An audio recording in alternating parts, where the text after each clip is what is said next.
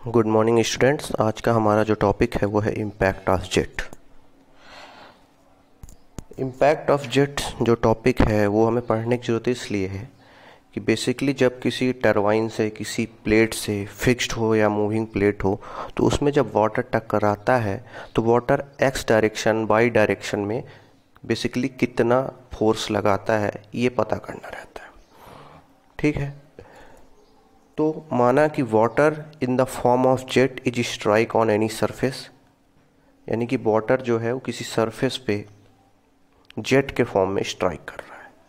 अब हम इसमें पहले एक वेलोसिटी ले लेते हैं वी आई यानी कि velocity of water just before striking फिर हम ले लेते हैं एक भी फाइनल यानी कि velocity of water just after striking यानी कि पानी जब टकराने से पहले की वेलोसिटी यानी कि भी इनिशियल और भी फाइनल वाटर की या पानी की, उस प्लेट में या टरबाइन में टकराने के बाद की जो वेलोसिटी है, वो होता है बी फाइनल अब हमें यहाँ पे देखना है by Newton second law Newton second law के अकॉर्डिंग जो नेट फोर्स होता है, वो होता है rate of change of momentum ठीक?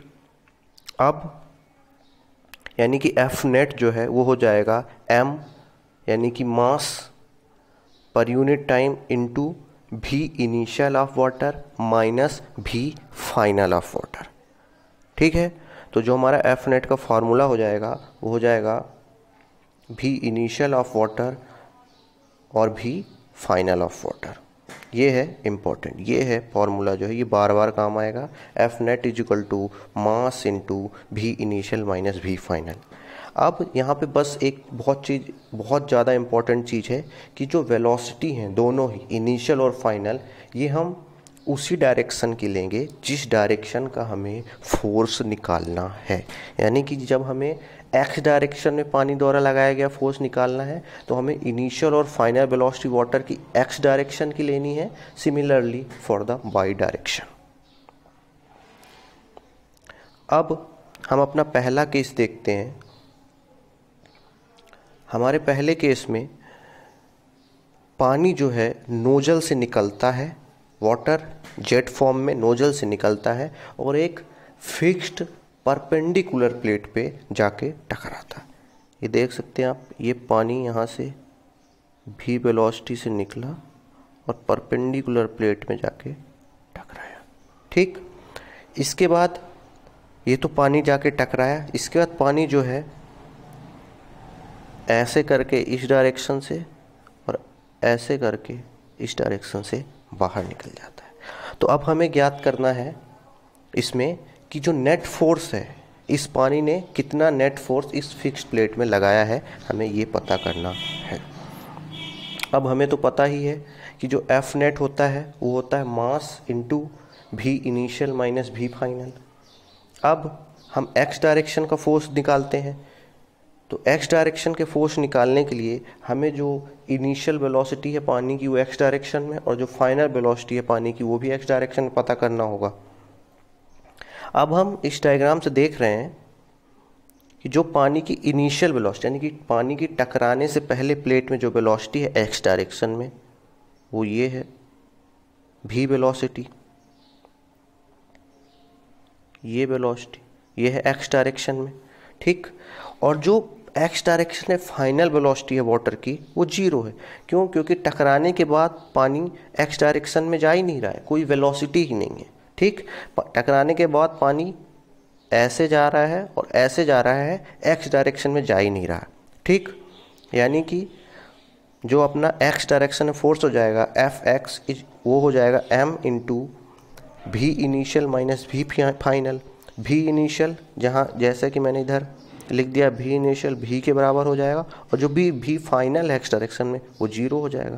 क्योंकि कोई भी वेलोसिटी का कंपोनेंट फाइनल में final velocity component X direction में है ही नहीं। तो जो फाइनल फोर्स आ जाएगा, एक स्टेशनरी फिक्स्ड परपेंडिकुलर प्लेट में एक्स डायरेक्शन में पानी द्वारा लगाया गया फोर्स है हो जाएगा एफ़ एक्स बराबर रो यानी कि density of water into A यानी कि cross sectional area of jet into V square यानी कि इनिशियल वेलोसिटी का स्क्वायर ठीक?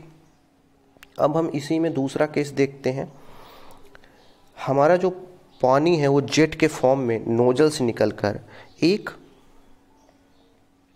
फिक्स्ड इंक्लाइन प्लेट ये प्लेट है हमारी। इंक्लाइन प्लेट में भी वेलोसिटी से जाके हमारा पानी टकरा रहा है। ठीक? प्लेट हमारी कैसी है? फिक्स है, लेकिन प्लेट कैसी है? इंक्लाइंड है। अब इस तरह के केस में हमें निकालना है कि इस पानी के द्वारा लगाया गया जो नेट फोर्स है एक्स डायरेक्शन में क्या होगा?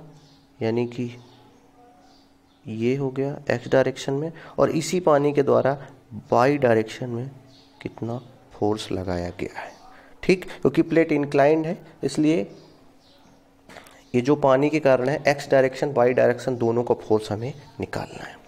इस तरह केस में सबसे सही तरीका है, इस तरह के केस को सॉल्व करने का, सबसे सही तरीका है, हम जो इंक्लाइन प्लेट है, उसके परपेंडिकुलर वेलोसिटी का कंपोनेंट निकाल लेते हैं। इसके कारण क्या होगा?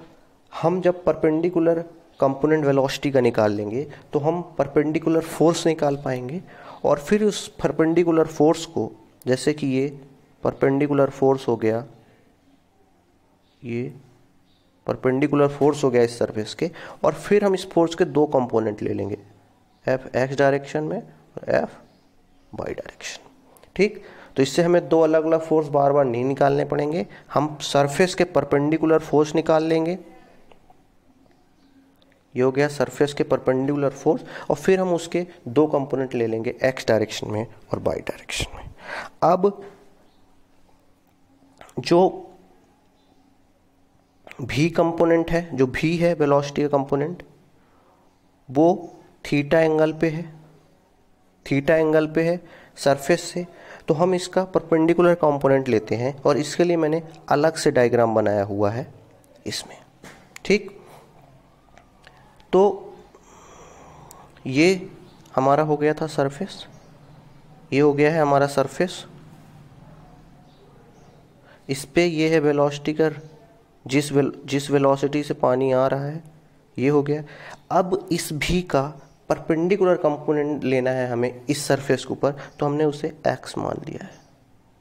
ठीक, ये हो गया परपेंडिकुलर वेलोसिटी का कंपोनेंट ठीक, हमने उसे क्या मान लिया है? एक्स अब x मान दिया है और हमारा वेलोसिटी जो भी है, जो कि x डायरेक्शन में है और यानी कि इस लाइन जो वेलोसिटी है और ये जो सरफेस है, इन दोनों के बीच का एंगल कितना है?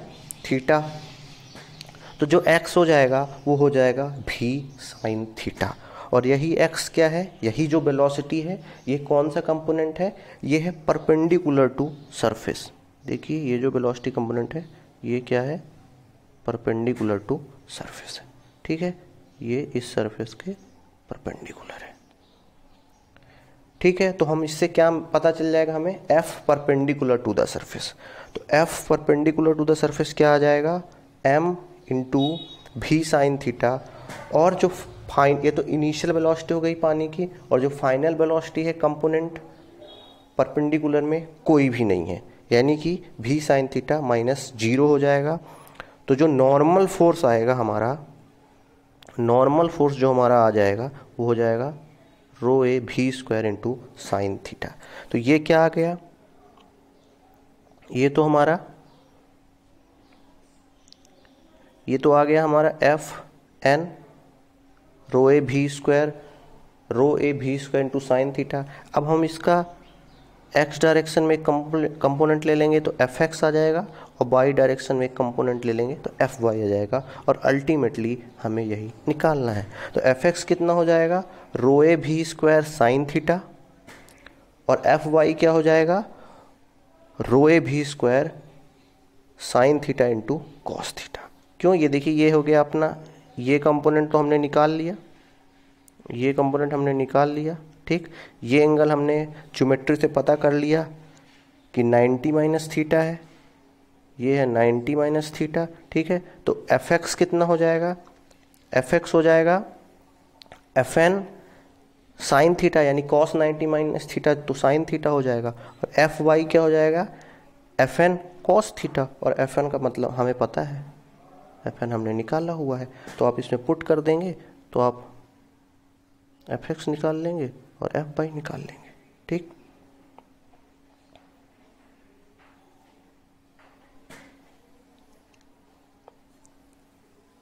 अब हम अपनी नेक्स्ट प्लेट देखते हैं, जिस पे जेट स्ट्राइक कर रहा है एक पर्टिकुलर वेलोसिटी से। तो जो हमारा जो नेक्स्ट प्रॉब्लम है, इसमें क्या होता है? जो प्लेट है हमारी, ये फिक्स नहीं है, बल्कि ये प्लेट जो है हिंज है। ये प्लेट जो है हिंज है। हिंज का मतलब कि पहले हमारी प्लेट ऐसी थी, अब जब इसमें भी वेलोसिटी से, ये भी वेलोसिटी से पानी जाके टकरा रहा है, ये भी वेलोसिटी से पानी जाके टकरा रहा है तो हमारी प्लेट ऐसी हो जा रही है। ठीक? यानी कि एक थीटा एंगल से हमारी प्लेट इंक्लाइंड हो जा रही है। जब भी वेलोसिटी से पानी क्यों क्यों इंक्लाइंड हो जा रही है? क्यों? क्योंकि हमारी जो प्लेट है वो फिक्स नहीं है, वो हिंज है। अब पहले प्लेट यानी कि हमारी ऐसे थी, अब प्लेट ऐसे हो गई है।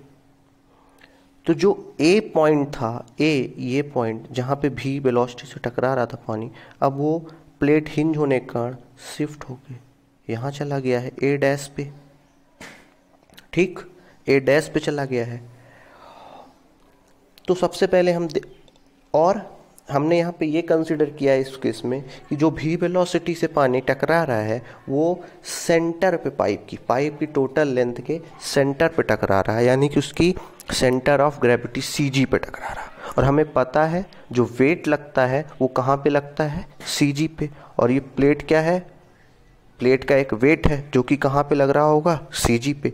लेकिन अब जब इसमें पानी भी भी वेलोसिटी से टकरा रहा है तो जो इसका ए पॉइंट है ये ए पॉइंट है, ये जाके ए डैश पे शिफ्ट हो गया है। यानी कि अब जो आपका एम जी फोर्स है वेट का फोर्स कहाँ पे लगेगा? ए डैश पे लगेगा। सिमिलरली जो पानी है, वो बी वेलोसिटी के कारण जो फोर्स लगेगा पानी के द्वारा, वो कहाँ लगेगा? जहाँ पे पानी टकरा रहा होगा। तो पानी तो यहाँ से जा रहा है सीधे, यहाँ पे टकरा रहा है, यानी कि किस पॉइंट पे? बी पॉइंट पे। ठीक? तो पानी कण द्वारा जो लगाया गया फोर्स है वो बी पॉइंट पे लगेगा और जो वेट के कारण पॉइंट जो फोर्स लगेगा रॉड की या हिंज प्लेट की वेट के कारण जो फोर्स लगेगा वो ए डैश पे लगेगा। ठीक? और अब अपन क्या करते हैं? अपन मान लेते हैं इक्विलिब्रियम कंडीशन ठीक? इक्विलिब्रियम कंडीशन मतलब कि जो मूवमेंट आएगा आपके वेट के कारण और जो मूवमेंट आएगा, पानी के द्वारा लगाए गए फोर्स के कारण ओ पॉइंट के अबाउट वो दोनों इक्वल होंगे। ठीक है? क्यों? क्योंकि जो एम जी कारण फोर्स लग रहा है, यानी कि वेट के कारण, उसकी डायरेक्शन और जो पानी के वेलोसिटी के कारण एक फोर्स लग रहा है, पानी के टकराने का एक फोर्स लग रहा है, उसकी दूसरी डायरेक्शन है। यानी अगर इक्विलिब्रियम में रखना है तो दोनों पॉइंट का जो मूवमेंट है, वो इक्वल होना चाहिए। ठीक? अब अपन पॉइंट ए डैश, यानी कि जहाँ पे एम जी फोर्स लग रहा है, ये एम जी फोर्स लग रहा है, उसका फ्री बॉडी डायग्राम बनाते हैं। तो ए से तुरंत नीचे नीचे आएँगे तो एम जी लग रहा है। तो हम इसका एक कंपोनेंट ले लेते हैं एम जी का, जो कि ओ ए डैश के परपेंडिकुलर हो। यानी कि ये कंपोनेंट ठीक? ओ ए डैश के परपेंडिकुलर हो और इस जो कि हो जाएगा एम जी साइन थीटा और इसी एम जी का एक और कंपोनेंट होगा एम जी कॉस थीटा जो कि ओ ए लाइन के पैरल होगा और जो कि ओ से गुजर रहा होगा। यानी कि जब हम मूवमेंट लेंगे एम जी कॉस थीटा का ओ के अबाउट तो वो ज़ीरो हो जाएगा, क्योंकि दोनों के बीच की डिस्टेंस रहेगी नहीं, क्योंकि वो ओ से गुजर रहा है। ठीक? सिमिलरली हम बी पॉइंट पे आते हैं, उसकी फ्री बॉडी डायग्राम बनाते हैं। तो बी पॉइंट कौन सा पानी पॉइंट है जहाँ पे पानी जाके टकरा रहा है। यानी कि पॉइंट वह पॉइंट है जहाँ पे पानी के कारण फोर्स लगेगा। ठीक? तो पानी के कारण, चूँकि पानी तो एक्स डायरेक्शन में फ्लो कर रहा है तो हमको ये हो जाएगा, पानी के कारण लगाएगा फोर्स हम इसका एक कंपोनेंट ले लेते हैं, जो कि एफ़ नॉर्मल होगा यानी कि उस सरफेस के नॉर्मल जो कि plate of hinge plate move होकर जिस डायरेक्शन में चली गई है, जिस पोजीशन में चली गई है, उसका एक नॉर्मल कंपोनेंट ले लेते हैं एफ़ नॉर्मल अब अपन एफ़ नॉर्मल ले लेंगे तो अपन को एफ़ एक्स और एफ़ वाई का मूवमेंट लेने की ज़रूरत नहीं है, क्यों? क्योंकि एफ़ नॉर्मल के ही दो कंपोनेंट होते हैं एफ़ एक्स और एफ़ वाई अब हमें एफ़ नॉर्मल और एम जी साइन थीटा का मूवमेंट लेना है ओ पॉइंट के अबाउट ठीक? मूवमेंट क्या होता है? Force into perpendicular distance between जिस पॉइंट के अबाउट हम मूवमेंट ले रहे हैं और जहाँ पे वो फोर्स लग रहा है। तो हमने एक पॉइंट लिया है, एक फोर्स लिया है एम जी साइन थीटा और इसके ओ के अबाउट मूवमेंट ले रहे हैं। इन दोनों के बीच परपेंडिकुलर डिस्टेंस कितनी है? एक्स यानी कि M G sine theta into X ठीक है, वो हमने यहाँ पे लिख दिया है। सिमिलरली हमने एक फोर्स लिया है एफ़ नॉर्मल ये है एफ़ नॉर्मल और इसके और ओ पॉइंट के बीच अगर ये डिस्टेंस अगर ये डिस्टेंस एक्स है तो ये डिस्टेंस क्या हो जाएगी ज्योमेट्री से? एक्स अपान कॉस थीटा और यही एक्स अपान कॉस थीटा क्या है? परपेंडिकुलर डिस्टेंस ये distance perpendicular distance between F N and O यानी कि M G sine theta into X equal to हो जाएगा F normal into X upon cos theta ठीक? अब अब हम देखते हैं एफ़ एन कैसे निकलेगा? तो हमें पता है एफ़ एन निकालने के लिए मास इंटू वेलोसिटी का कंपोनेंट फोर्स के डायरेक्शन में, जो कि अगर ये भी वेलोसिटी की डायरेक्शन है, ये हमारी भी वेलोसिटी की डायरेक्शन है तो उसका कंपोनेंट एफ़ एन की डायरेक्शन में क्या हो जाएगा? भी कॉस थीटा क्या हो जाएगा? भी। यानी कि अगर ये भी की डायरेक्शन है तो ये नॉर्मल फोर्स के डायरेक्शन में क्या हो जाएगा? कौन भी वेलोसिटी कंपोनेंट क्या हो जाएगा? भी कॉस थीटा ठीक? भी कॉस थीटा हो जाएगा। तो एफ़ एन क्या निकल आएगा? M into V cos theta minus zero ठीक है? एम क्या होता है? रो इंटू ए इंटू भी तो एफ़ एन क्या हो जाएगा? रो ए भी स्क्वायर इंटू कॉस थीटा यानी कि इक्वेशन वन और टू से अगर अपन थीटा निकालें तो वो हो जाएगा, जो कि बहुत ही आसान है तो हो जाएगा sine inverse into rho A V square upon M G तो इस केस में जो मेन चीज़ है, वो देखने के लिए ये है कि हमें सबसे पहले तो एम जी यानी कि वेट के कारण जो मूवमेंट है ओ पॉइंट के अबाउट वो लेना है, और जो फोर्स वाटर लगा रहा है उसके कारण जो मूवमेंट आएगा हमें, वो लेना है। और इक्विलिब्रियम कंडीशन में दोनों ही मूवमेंट का जो वैल्यू है, वो बराबर होना चाहिए। दोनों को हम बराबर करेंगे और थीटा की वैल्यू आ जाएगी। इस केस में हमने कंसिडर किया है कि पानी भी वेलोसिटी से जो हमारी हिंज प्लेट है, उसके सीजी पे टकरा रहा है। ठीक है? और वो डिस्टेंस हमने एक्स दे रखा है। ठीक है? ये डिस्टेंस हमने एक्स ये डिस्टेंस ले रखी है। वाटर की टकराने से पहले और जो टोटल डिस्टेंस है प्लेट की, वो हमने क्या ले रखी है? एल ठीक? अब हम अपना अगला केस देखते हैं। इस केस में जो है, हमारा पानी जो है कर्व प्लेट के सेंटर पे जाके टकरा रहा है। कर्व प्लेट के, ये जो प्लेट है, ये जो प्लेट है, ये हमारी कर्व है और जो पानी है, वो इसके सेंटर पे जाके टकरा रहा है। हमारी ये कर्व प्लेट है जो फिक्स है, यानी इसमें किसी भी टाइप का मूवमेंट नहीं होगा। नहीं पानी भी वेलोसिटी टकराने के बाद इधर से और इधर से निकल जाता है। ठीक है? हमने क्या कंसिडर किया है इस सारे केसेस में कि फ्रिक्शन जो है, यानी कि जब वाटर आपके प्लेट पे फ्लो हो रहा होगा तो जो फ्रिक्शन है वो अपन ज़ीरो लेंगे। यानी कि जिस वेलोसिटी से पानी टकरा रहा होगा, उसी वेलोसिटी से प्लेट में मूव करते हुए बाहर निकलेगा। यानी यहाँ पे पानी भी वेलोसिटी से टकराया तो यहाँ भी वेलोसिटी से निकल गया। तो अब यहाँ पे भी वेलोसिटी तो जो है वो एक्स डायरेक्शन में है। ये एक्स डायरेक्शन क्योंकि ये होती है अपनी एक्स डायरेक्शन और ये होती है अपनी बाई डायरेक्शन ठीक? तो पानी भी वेलोसिटी से टकराया तो मतलब टकराने से पहले तो पानी एक्स डायरेक्शन में था, लेकिन टकराने के बाद तो पानी एक थीटा एंगल पे चला गया। यानी इसके दो कंपोनेंट होंगे, एक X direction negative X direction में। ठीक है? ये है आपकी पॉजिटिव एक्स डायरेक्शन और ये है आपकी पॉजिटिव बाई डायरेक्शन ठीक है? ये मैंने पॉजिटिव एक्स डायरेक्शन और बाई डायरेक्शन बनाया हुआ। तो पानी जो है एक्स डायरेक्शन का जो कंपोनेंट होगा फाइनल वेलोसिटी का, यानी टकराने के बाद का, वो होगा माइनस भी कॉस थीटा ये है माइनस डायरेक्शन और जो परपेंडिकुलर कंपोनेंट होगा बाई डायरेक्शन में, वो होगा भी साइन थीटा और ये कैसा है? प्लस ठीक?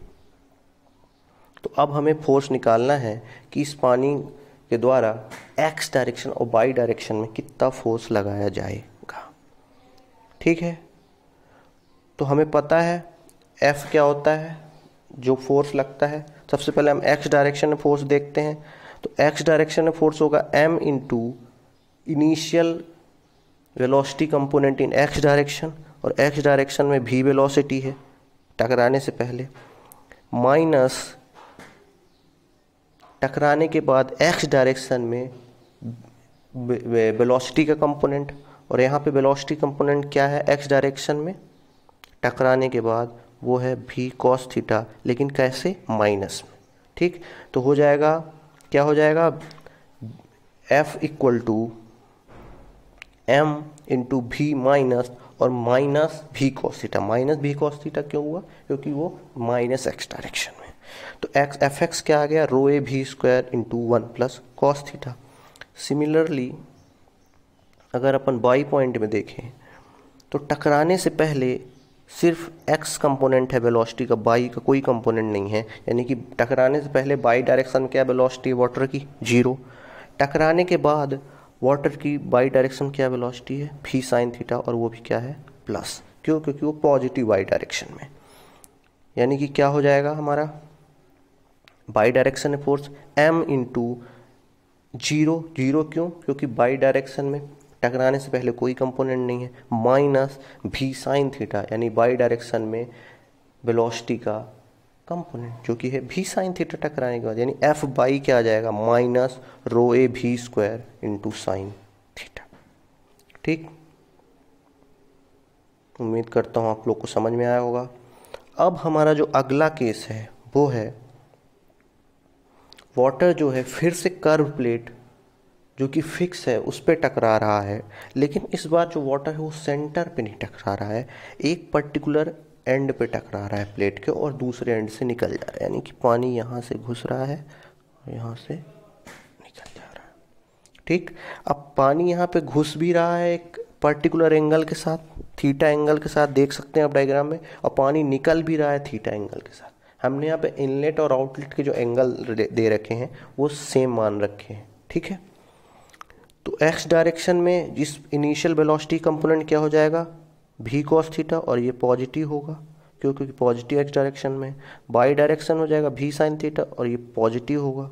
क्यों? क्योंकि पॉजिटिव बाई डायरेक्शन में। अब निकलते समय एक्स डायरेक्शन में क्या कंपोनेंट होगा? भी कॉस थीटा जो कि नेगेटिव हो जाएगा। क्यों? क्योंकि वो नेगेटिव बाई एक्स डायरेक्शन में है। और बाई कंपोनेंट निकलते समय वेलोसिटी का क्या होगा? भी साइन थीटा और ये पॉजिटिव डायरेक्शन में, इसलिए प्लस भी कॉस थीटा हो जाएगा। भी साइन थीटा हो जाएगा। ठीक? तो हमें वेलोसिटी के एंट्री करते समय एक्स डायरेक्शन और वाई डायरेक्शन के कंपोनेंट मिल गए और वेलोसिटी के एग्जिट यानी टकराने के बाद के दो कंपोनेंट मिल गए एक्स डायरेक्शन और वाई डायरेक्शन के। और उनकी हमें वैल्यू भी पता चलेगी कि माइनस होंगे कि प्लस होंगे। अब हम इसमें निकालते हैं एफ़ एक्स क्या हो जाएगा? एम इंटू वेलोसिटी का कंपोनेंट एक्स डायरेक्शन में टकराने से पहले माइनस वेलोसिटी का कंपोनेंट एक्स डायरेक्शन में टकराने के बाद तो हमारा एफ़ एक्स आ जाएगा। तो ये हो जाएगा F X similarly Y direction में टकराने से पहले का कंपोनेंट और बाई डायरेक्शन में टकराने के बाद का कंपोनेंट अब एफ़ वाई ज़ीरो क्यों आ रहा है अपन? ये समझते हैं। अब यहाँ पे हम देखते हैं कि बाई डायरेक्शन में टकराने से पहले जो वेलोसिटी है वो है भी साइन थीटा ठीक? यानी कि m into V sine theta minus टकराने के बाद वेलोसिटी का कंपोनेंट बाई डायरेक्शन है, फिर से भी साइन थीटा और ये भी पॉजिटिव है, यानी कि V sine theta minus V sine theta और जो कि दोनों एक दूसरे कट करके ज़ीरो हो जाएँगे, इसलिए बाई डायरेक्शन में वेलोसिटी का कंपोनेंट हमारा ज़ीरो आएगा इस केस में। ठीक? अब हम अपना एक थोड़ा सा टफ केस देखते हैं जो कि बहुत ज़्यादा इंपॉर्टेंट है। ये हमारी टेंजेंशियल फ्लो रनर है और यही जो वेलोसिटी के डायग्राम बनेंगे हमारे इनलेट पे आउटलेट पे, यही जो फॉर्मूलेज आएँगे, यही हमारे डिफरेंट डिफरेंट इम्पल्स और रिएक्शन टर्बाइंस में भी काम आएँगे। इसलिए हमें इसे काफ़ी ध्यान से देखना है। इस केस में हमारे पास एक टेंजेंशियल फ्लो रनर है जो कि एन राउंड पर मिनट से घूम रहा है। उसकी एक पर्टिकुलर इनिशियल वेलोसिटी होगी, यानी कि एंट्री करते समय टाइम यू राउंड और एक यू टू होगी, जो कि जब पानी एग्जिट कर रहा होगा तो हमारे रनर की वेलोसिटी होगी। तो यू वन यू टू क्या हो गए? रनर की, यानी कि जो ब्लेड है, जो कि मूविंग ब्लेड है, जो कि एन आर पी एम से मूव कर रहा है, उसकी वेलोसिटी होंगी। फिर हमारे इस रनर की ब्लेड में पानी भी वेलोसिटी से नोजल से निकल कर आ रहा होगा। ठीक और भी टू वेलोसिटी से निकल रहा होगा तो वी वन वी टू कैसी वेलोसिटी हो गई कि नोजल से जिस वेलोसिटी से पानी निकल रहा है, वो हमारे वी वन हो जाएगी और जिस वेलोसिटी से हमारा पानी रनर से निकल रहा है वाटर की वेलोसिटी जो है, वो वी टू हो जाएगी। फिर ये हो जाएगी हमारी वी वन ये मैंने दोनों ही इनलेट और आउटलेट के वेलोसिटी डायग्राम अलग अलग बना दिए हैं, बड़े तरीके से ताकि समझ में आए। ठीक? तो ये हो गई हमारी यू वन यू टू यानी कि वेलोसिटी ऑफ़ ब्लेड हो जाएँगी इनलेट और एग्जिट पे वाटर के। फिर आती है वी आर वन अब यहाँ पे बात ये है कि जो हमारी यहाँ पे रनर है, उसकी प्लेट जो है, वो भी एक वेलोसिटी से मूव कर रही है। यानी कि जब पानी उसमें टकराने वाला होगा तो उसकी खुद की एक वेलोसिटी रनर के ब्लेड की होगी।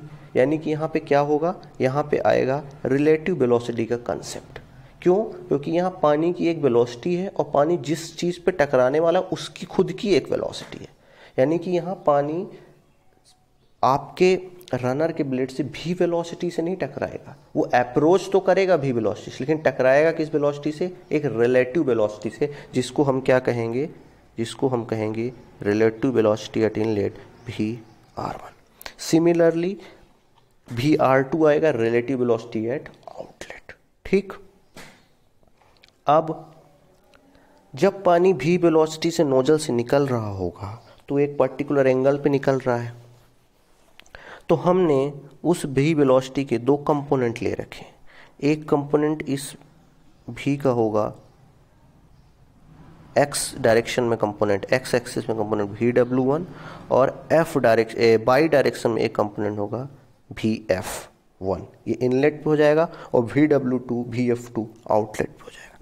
तो क्या है ये वी वी डब्ल्यू वन जो कि वेलोसिटी भी का एक्स डायरेक्शन में कंपोनेंट है और वी एफ़ जो है, वो भी का भी वेलोसिटी का वाई डायरेक्शन में कंपोनेंट तो वी डब्ल्यू वन को हम क्या कहेंगे? Velocity of whirl at inlet velocity of whirl मतलब पानी भी वेलोसिटी से अप्रोच कर रहा है तो जो भी डब्ल्यू वन है, वो भी वेलोसिटी का वो कंपोनेंट है जो आपके रनर को रोटेट यानी कि वर्ल वेलोसिटी प्रदाय करेगा, प्रदान करेगा।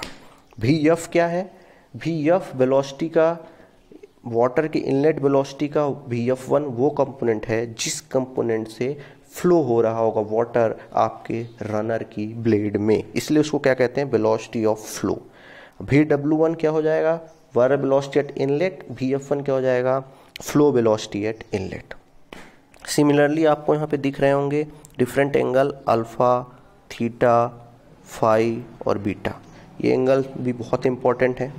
तो ये हो गया हमारा वेलोसिटी ट्रैंगल एट इनलेट और ये हो जाएगा, जब पानी बाहर निकल रहा होगा वेलोसिटी ट्रैंगल एट आउटलेट अब हमें इसमें देखना है ठीक है? तो भी डब्ल्यू वन पता चल गया वी एफ़ वन पता चल गया। अब हमें इसमें देखना है कि अल्फ़ा क्या है। अल्फ़ा क्या है? नोजल या गाइड ब्लेड एंगल थीटा क्या है? वेन एंगल एट इनलेट ठीक? अल्फ़ा हमारा क्या है? वी वन ये वी वन अल्फ़ा हमारा क्या है? वी वन और ये जो एक्स डायरेक्शन है, उसके बीच का एंगल हो गया। और थीटा क्या है? वी आर वन और ये जो थीटा के बीच का एंगल है एक्स डायरेक्शन के बीच एंगल है, वो हो गया। सिमिलरली फाई और बीटा ठीक? अब हमारे अल्फ़ा का क्या नाम है? अल्फ़ा का नाम है नोजल या गाइड ब्लेड एंगल ठीक है? तो अल्फ़ा वो एंगल है जिस एंगल से गाइड ब्लेड गाइड ब्लेड क्या है ये मैं बताऊँगा आपको। गाइड ब्लेड से जिस एंगल से पानी आके रनर की ब्लेड्स में टकराना चाह रहा है। ठीक, वो क्या हो गया? अल्फ़ा। और थीटा क्या हो गया हमारा? थीटा हो गया बेन एंगल एट इनलेट, यानी बेन के, ये हो गई हमारी रनर्स की वेन। इसके पैरल अगर अपन देखें तो क्या आता है? V R one. इसके सरफेस के पैरल जो होता है, रनर की ब्लेड्स के सरफेस के पैरल जो डायरेक्शन होती है, उसी डायरेक्शन में हमारी होती है वी आर वन। वो तो आप देख सकते बिल्कुल डायरेक्शन के पैरल होती है। और ये जो लाइन है, ये एक्स से एक्सिस से जो एंगल बनाती है, ये जो आपका एंगल होता है, ये क्या हो जाता है? थीटा ठीक है?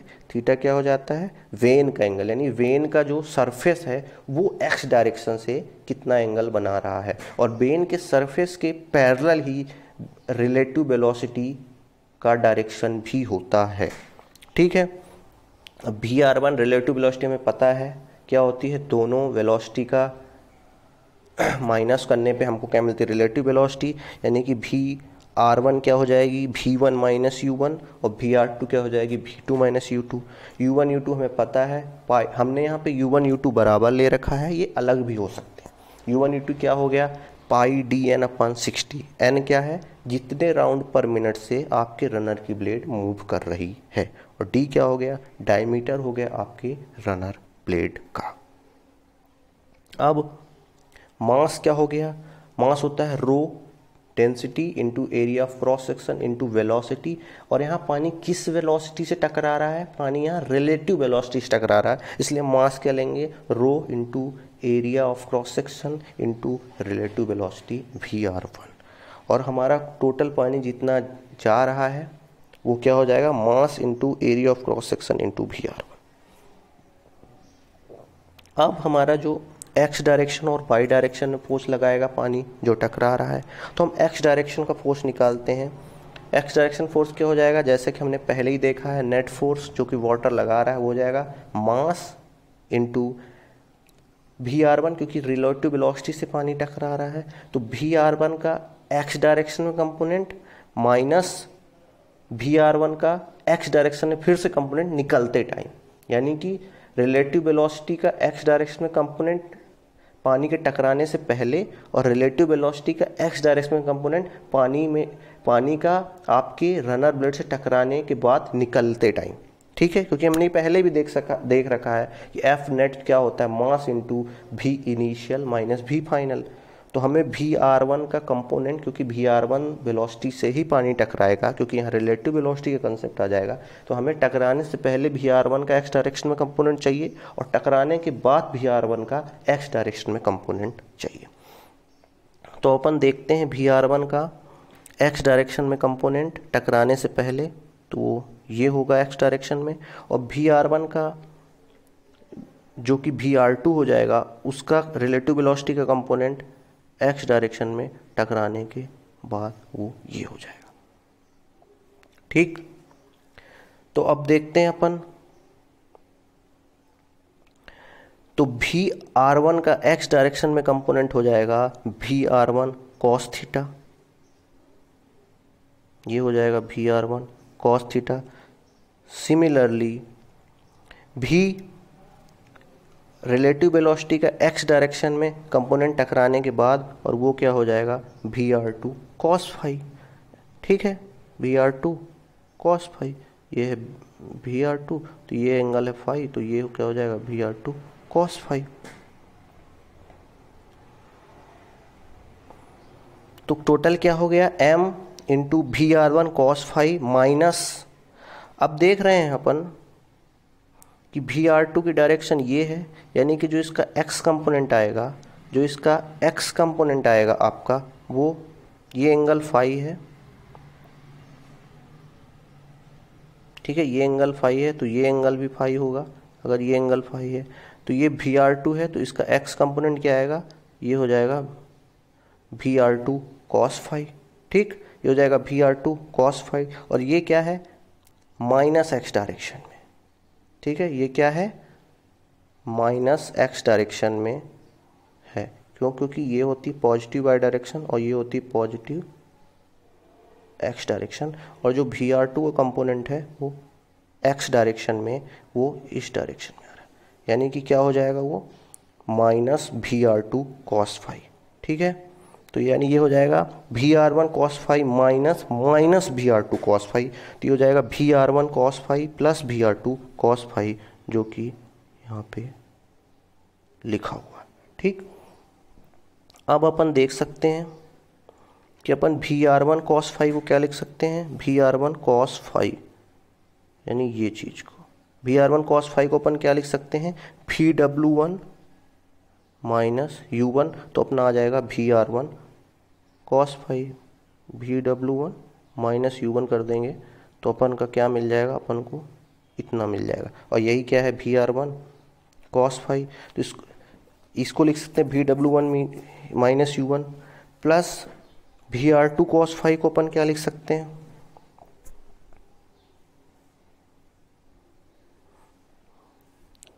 V R two cos five अपन क्या लिख सकते हैं? ये डिस्टेंस क्या होगी हमारी? अगर देखें तो ये डिस्टेंस हमारी क्या होगी? यही डिस्टेंस होगी V R two cos five और ये इस डिस्टेंस के बराबर है। और ये डिस्टेंस क्या है? U2 two plus V W two ये डिस्टेंस क्या है? U2 two plus V W two यानी कि V R two cos five को अपन लिख सकते हैं U two plus V W two इसी को हमने लिख दिया U two plus V W two तो जो एफ़ एक्स एक्स डायरेक्शन में जो वाटर द्वारा लगाया गया फाइनल फोर्स है नेट फोर्स है, वो हो जाएगा M into V W one plus V W two ठीक है? इस इक्वेशन से आप देख सकते हैं। इस इक्वेशन से आप देख सकते हैं। ठीक? तो पावर क्या होती है? पावर क्या होती है? पावर होती है फोर्स इंटू वेलोसिटी। ठीक है? तो पावर हम कैसे निकालेंगे? ये फोर्स है जो कि लग रहा है तो पावर डेवलप्ड कितना हो जाएगा? M into V W one plus V W two into U यानी जिस वेलोसिटी से आपकी जो ब्लेड्स है रनर की, वो मूव कर रही हैं। ठीक? तो पावर हो जाएगा w बराबर m into V W one plus V W two into U और ये हम इसकी यूनिट किसमें लेंगे? वर्क डन पर सेकेंड है ये W, ठीक? अब मैंने एक दो केसेस और देख रखे हैं, जिसमें हमारी जो प्लेट्स हैं, वो मूव कर रही हैं, जैसे कि जिसके जस्ट पिछले केस में मूव कर रही थी। वेन जो वेन है, यानी कि रनर की ब्लेड्स हैं, वो मूव कर रही हैं। तो जैसा पहला केस देखा था हमने कि प्लेट्स जो थी परपेंडिकुलर थी, लेकिन फिक्स थी। लेकिन इस केस में यू डायरेक्शन से प्लेट हमारी जो है मूव कर रही है। यानी भी डायरेक्शन यानी ये हुआ भी, लेकिन इस केस में प्लेट आपकी स्टेशनरी नहीं है, वो खुद यू डायरेक्शन से मूव कर रही है। यानी कि उसी फॉर्मूले में आप एम इंटू भी की जगह भी माइनस यू रख देंगे। ठीक? अब अगला केस देखते हैं, जो आपकी सेकेंड केस था, जिसमें प्लेट आपकी एक पर्टिकुलर एंगल में थी और फिक्स थी। लेकिन यहाँ पे प्लेट फिक्स नहीं है, वो आपकी प्लेट यू डायरेक्शन से इधर मूव कर रही है तो सेम फार्मूला रहेगा भी की जगह भी माइनस यू हो जाएगा। ठीक है? सिमिलरली आपका ये केस है जिसमें भी वेलोसिटी से पानी आ रहा है, लेकिन आपकी जो प्लेट है वो यू यू वेलोसिटी से आगे जा रही है। तो यानी जो पानी है वो भी माइनस यू वेलोसिटी से टकराएगा और भी माइनस यू वेलोसिटी से निकलेगा ही। रिलेटिव कंसेप्ट है रिलेटिव वेलोसिटी कंसेप्ट है तो सेम फार्मूला रहेगा वो सारे केस वाला ही, लेकिन इसमें भी क्या है? भी माइनस यू से चेंज हो जाएगा, क्योंकि वहाँ पे जो अब्सोलूट वेलोसिटी थी, और यहाँ पे क्या हो जाएगा? रिलेटिव वेलोसिटी ठीक? तो जो हमारा इम्पोर्टेंट केस है, वो ये है हमारा इम्पोर्टेंट केस ये केस हमारा इम्पोर्टेंट है.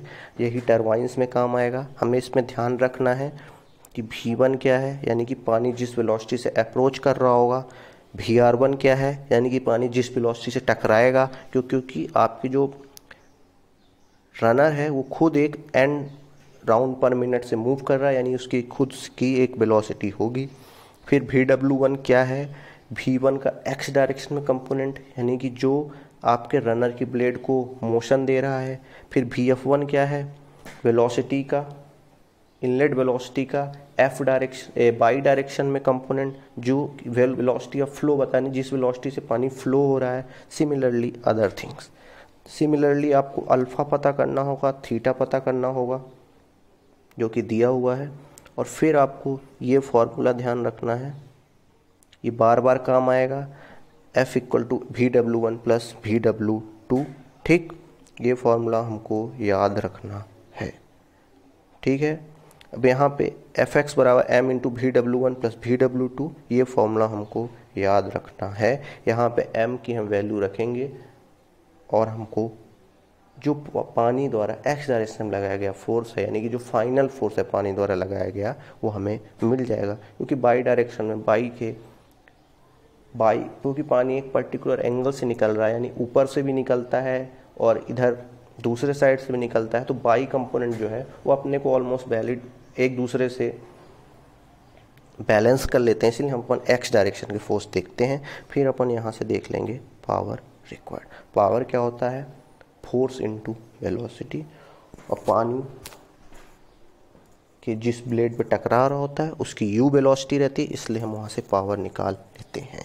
तो हमें ये फॉर्मूला ध्यान रखना है, यही आगे टर्बाइंस में काम आएगा। धन्यवाद। आप अपने डाउट्स मुझसे फ़ोन पे या व्हाट्सएप के थ्रू मैसेज पे पूछ सकते हैं। धन्यवाद।